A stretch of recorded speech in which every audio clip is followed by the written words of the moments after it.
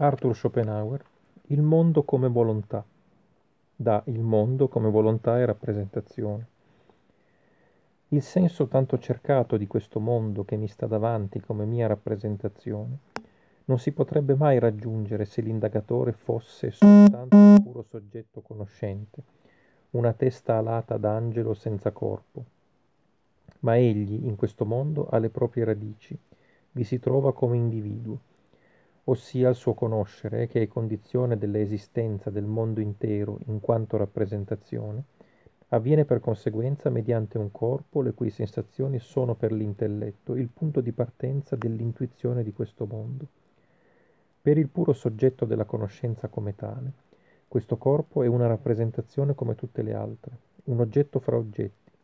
I suoi movimenti, le sue azioni non sono, sotto questo rispetto, conosciuti da lui in maniera diversa dalle modificazioni di tutti gli altri oggetti intuiti e gli sarebbero ugualmente estranei e incomprensibili.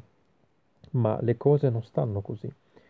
Al soggetto conoscente che appare come individuo è data la parola dell'enigma, e questa parola è volontà.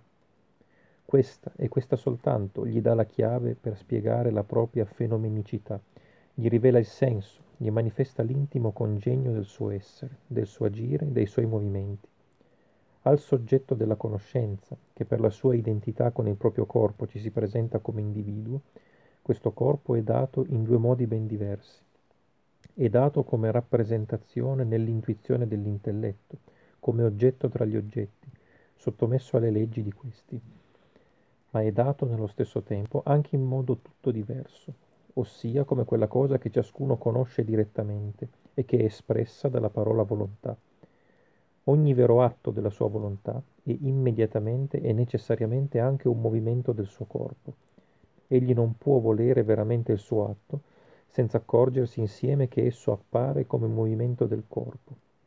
L'atto volitivo e l'azione del corpo non sono due diversi stati conosciuti come oggetti, che il vincolo della causalità colleghi, non stanno tra loro nella relazione di causa ed effetto, ma sono un tutto unico, soltanto dati in due modi diversi, nell'uno direttamente e nell'altro mediante l'intuizione dell'intelletto. Chiamo perciò il corpo, da questo punto di vista, l'obiettità della volontà. Ogni vero, autentico, immediato atto volitivo è subito e direttamente anche un visibile atto del corpo, e viceversa, ogni azione del corpo e subito e direttamente anche azione sulla volontà. Come tale si chiama dolore se ripugna alla volontà, si chiama benessere piacere se è ad essa conforme.